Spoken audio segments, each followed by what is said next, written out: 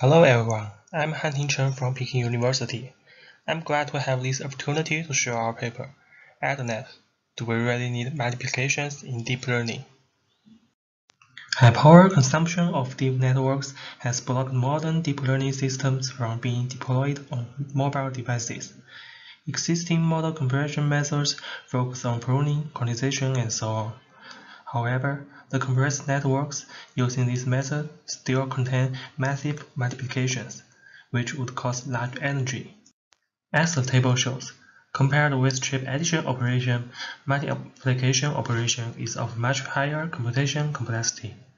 For example, the 8-bit addition only costs 0.0 petajoule energy, while the 8-bit multiplication costs 0.2 petajoule energy, which is a large difference.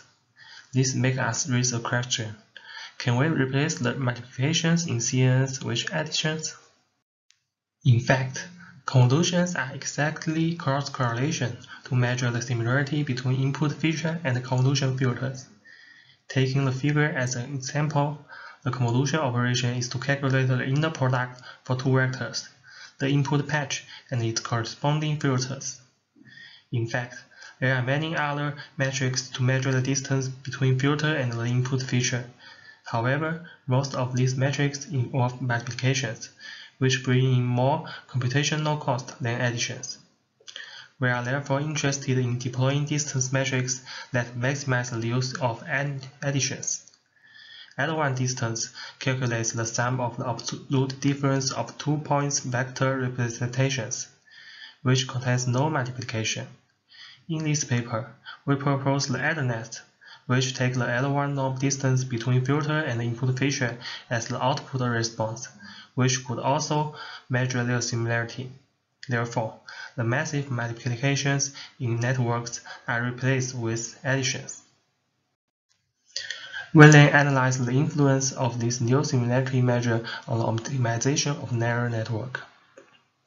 First, the gradients of AdderNet are sign gradient, which is unsuitable to optimize the neural network of a huge number of parameters. To achieve a better performance, we developed a special backpropagation approach for AdderNets by investigating the full precision gradient. Besides, the norms of gradients of filters in AdderNets are of much smaller than that in CNNs which would store down the update of filters in AdderNet. As the table shows, the gradient of different layers of AdderNet are very small. Thus, an adapted learning rate strategy to enhance the training procedure of AdderNet is proposed, according to the magnitude of each neuron's gradient. As a result, the proposed AdderNets achieve comparable performance with CNNs with few multiplications on CIFAR and ImageNet dataset. For example, on CIFAR dataset, the AdderNets achieve almost the same accuracy with CNNs. And on the ImageNet dataset, AdderNets can achieve 17.4.9 top 1 accuracy and 19.1.7 top 5 accuracy which demonstrate the effectiveness of the proposed method on large-scale image classification tasks. Moreover, we visualize filters, features, and the distribution of weights for AdderNets and CNNs.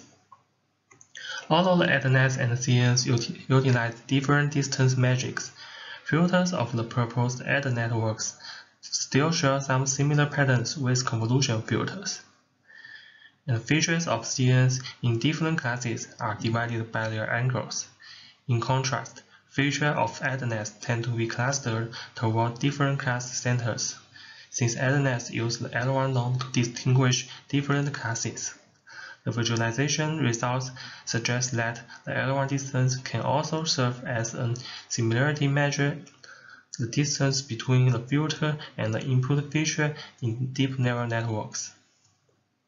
The distribution of weights with AdderNet is close to a Laplace distribution, while that with CNNs looks more like a Gaussian distribution.